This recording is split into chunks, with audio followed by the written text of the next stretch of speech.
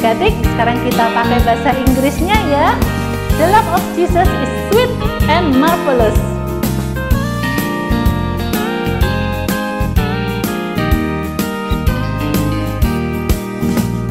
The love of Jesus, sweet and marvelous. The love of Jesus, sweet and marvelous. The love of Jesus,